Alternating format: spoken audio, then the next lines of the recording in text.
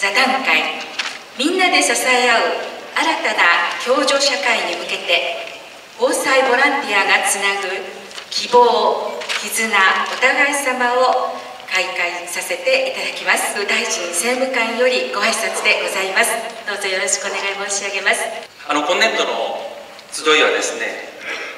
従来からの支援やですね血縁に基づいた地域コミュニティが希薄して希薄化していく中でまた高齢化していく中で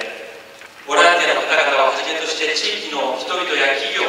団体が力を合わせて助け合う共助の力が発揮される社会共助社会の実現をテーマにさせていただいております。減災の肝はもちろん初動です。初動をいかにスピーディーに効率的に行うかです。しかし急に初動ができるわけではありません。いつ何が起こるかわからない。そんな災害を前提に共助の共有化を図っていかなければならない。特に共助の精神をですね日本全国にネットワークとして張り巡らしていかなければならないと考えております。こんにちは中川です、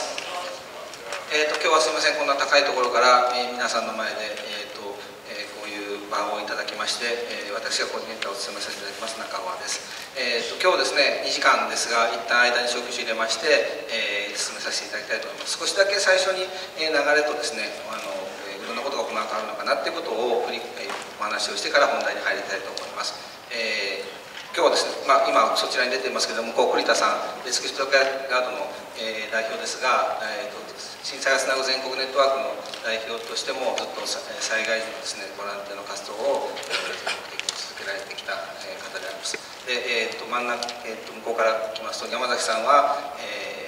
ここにありますように、えーと、今東京ボランティア市民活動センターの所長と神奈川の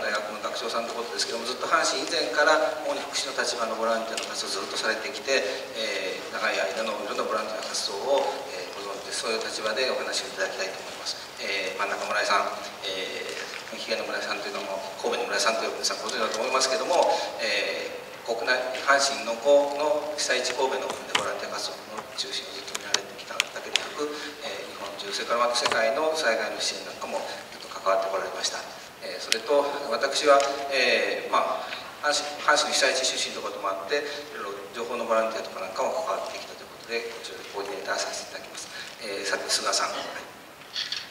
はい、あのコメンテーター務めさせていただきます菅真志保と申します。えー、私は現在あの関西大学で、えー、社会安全学部で、えー、学生とともにあの災害やあの災害なんかのことを勉強してます次お願いしますはいえー、あの私自身があの阪神・淡路大震災があった頃はまだあの学生でして、えーまあ、当時ボランティア活動をしながらあのやっぱりこういった活動をあの将来伝えていかなければいけないということで、まあ、自分のできるボランティア活動の一つとして記録をあのまとめていくという作業に関わってきました。で今日あの今あのご覧になっていただいているさまざまな資料はあの今日登壇している人やまた皆様と一緒にあの作ってきたあの、本です、まあ、このですねあの記録を作ったり編集のお手伝いをするということで関わらせていただきました。今日はよろしくお願いいたします。だから現場ではいろんなボランティアセンターも聞きました2005年の、えー、2006年の、えーと、とこれは岡谷の写真このこちらの向こう側の問題はこれはすみません事実上ライバルにあった、まあ、本当この人たちはボランティアなのかどうかよく分かりませんが県庁職員が動員されてしまったというかわいそうな事態もありました。次お願いします。えーと、能登半島地震、えーと、これ足湯この時に、えーと、もう一度足湯が、えー、この辺ぐらいからですかね、えー、とリバイバルしてきてもう今やテーマになってますけど下の方はお祭りにも関わっているようなそういう長期の、えー、関わりができてきたことで次お願いします。えー、それから中越沖地震これは、えー、と新潟の中の経験とそれから、えー、と外の経験と次にうまくつながったところまた課題が新たに見えたところがあったように思います次お願いします。えー、とやとボランティアセンターそのものができなかったりとかいうこともあったわけですが栃木の写真もありますけれども、えー、逆に先ほどの、えーと、なんていうか見えないシーンじゃないですけどそのゆっくりといろんな学校でのセンターでないさまざまなシーが求められたんじゃないかと思います次お願いします今でもいろんなことが続いていると思います、えーと、去年の、えー、九州、えー、北部、えー、中国九州北部さまざまな積み重ねが、えー、実はいろんなボランティア活動を、えーつなげていくことにもなっていることが、えー分かってきたと思いますしこれで最後かな、えーとこれで最後でしたっけ？はい、えーあ今年もありました。そして奄美、えーもありました。そんな災害を経てきながら、えーと単に今の話ありましたけど、えーあのボランティアのセンターだけないというものが見えてきたんじゃないかと思うんですけどもちょっと